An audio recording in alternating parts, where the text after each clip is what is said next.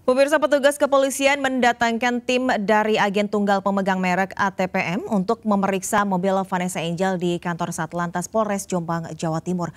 Pemeriksaan untuk melengkapi berkas pemeriksaan tersangka Tubagus Jodi yang mengemudikan mobil tersebut.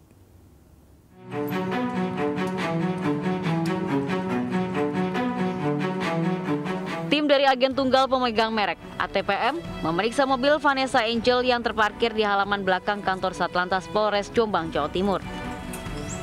Pemeriksaan berlangsung secara tertutup dan dijaga ketat polisi. Pemeriksaan dilakukan untuk melengkapi berkas dalam menangani tersangka Tubagus Jodi untuk disampaikan dalam sidang di pengadilan. Tim ahli memberi petunjuk mengenai kondisi mobil Vanessa sebelum peristiwa kecelakaan terjadi. Sebelumnya, sopir Vanessa Angel, Tubagus Jodi, telah ditetapkan polisi menjadi tersangka. Ia dianggap lalai saat menjadi sopir pasangan Vanessa Angel dan suaminya, Febri Andriansyah. Ia diduga mengendarai kendaraan dengan kecepatan mencapai lebih dari 100 km per jam.